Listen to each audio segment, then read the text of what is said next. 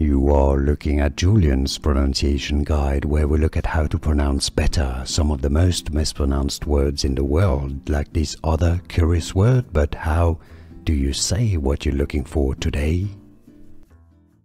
An interesting phrase if you want to learn more confusing names from Greek and also from the Bible.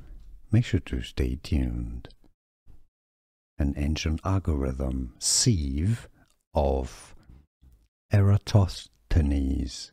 Eratos, Eratos, the knees. The sieve of Eratosthenes. Eratosthenes. In mathematics, now you know.